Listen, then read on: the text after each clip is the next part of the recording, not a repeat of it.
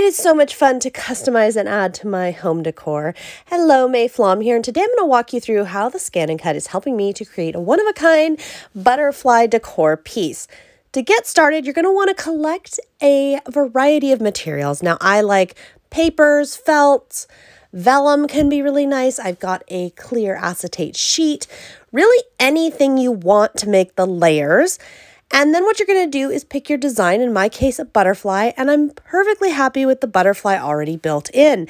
Now, I'm not going to be needing the wing details or the antenna. I'm just going to be using the body of the butterfly, part A. Once I select this, I'm going to say OK. And I'm not going to size it here. I'm just going to say OK. Now, you may notice there is a design on the background there. That's because I've been cutting out of different materials and testing them. And you can scan the mat so that you can see where your material is. And I point this out to you because it can be really useful when you want a certain part of the design on the paper or material to show. Now I happen to be cutting this time out of a little dot, so it doesn't really matter where I cut on this material. It's all very small dot and all very the same. So off we go to cut and repeat with additional materials. Here you can see I've got some felt and some other paper type materials. When you are done, you're going to press finish. And then what you're going to do is you're going to go back, edit, object edit, and you're going to resize. So you're going to size up and down. Keep in mind these smaller butterflies are going to be on the top. The larger ones are going to be on the bottom. And with the larger ones, only the edges of the wings are going to show. The middle is really not going to show up. So you keep that in mind as you cut. And in this instance here, I am cutting on my clear plastic sheet. It's just kind of a medium craft plastic, works really well for this. It's going to add kind of a shimmer and a fun dimension to this project. And once everything is set, I again, I'm going to go ahead and cut and repeat this step for however many layers I want to have. And remember the auto blade will make it so that we do not have to measure or tell it where to cut. It's going to determine the cutting depth that it needs. With all of this cut out, I do also want to create a stencil for the background and I want to use a very specific design. And to do that, I'm going to just go in and pick the design that I want. It's right here, kind of an arrow. And then I'm just going to set OK, and then I'm going to go into edit. And I'm actually going to edit the size, but I'm also going to press the option. Oh, excuse me, I am going to change it 90 degrees because I want it going a different direction. And yes, I realize since I'm making a stencil, it could be any direction, but for me to visualize, I like it to be going in the direction that I want it to be in. So I'm pushed the, by pushing that button that is the little up and down arrow and side to side arrow, it means that I can independently alter both the height and the width of this arrow so that I can make it the exact size that I want. Then increase the number, I want 12, and zoom in and I will be able to manipulate and move. So by zooming way in, I can move the screen, but then also those top arrows will allow me to adjust the position of every item so that everything is nice and straight. Once we are good to go, we're going to cut it out. I'm cutting it out of a lime green cardstock that I have excess of because I like to use those kinds of excess materials to create stencils. As you can see, pop it all out and there's our stencil ready to go, and we're ready to get painting and get some more materials going. So I'm setting my ScanNCut aside, pulling out my shadow box. So I am working on a shadow box. You could work on a canvas board. You could work on lots of different materials for a project like this. You could even make a card.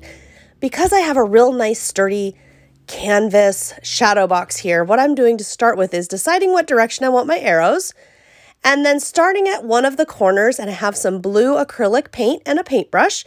And I'm just going to start painting in some of these arrow areas. Now, because of the material I'm working on, some of the paint is going to soak in a little more than if it was a non-porous surface. And that's just something to keep in mind that it might just take a little more paint than I'm used to. And I'm just going through with my paintbrush and stenciling in each part that I want to see painted blue. And then I can repeat with any additional colors that I would like to utilize. In this case, some yellow and also some pink. But my tip to you, wait until each color dries completely before starting with the next. Another tip, make sure You're lining up the stencil with the dry paint so that you know that it's in the right spot and the pattern is going to look cohesive. Now here I've got a foam brush. That is another option that is a very good option for you when you're doing this kind of stenciling. Sometimes a foam brush can be easier to work with or maybe you just prefer it. And do as much or as little as you like. And I'm also going to add a little bit of pink paint with that foam brush to the edges. I don't think the edges get seen once it goes in the box, but it's just kind of a fun little touch I like to do. Just kind of add a little, a few little funky imperfections that are intentional, just kind of a little shabby chic look there. With this done, we are ready to start assembling and working on our butterfly. So for the butterfly, I like to work on each layer if there's anything special I want to add. In this case, I'm adding some little hand stitched onto the felt.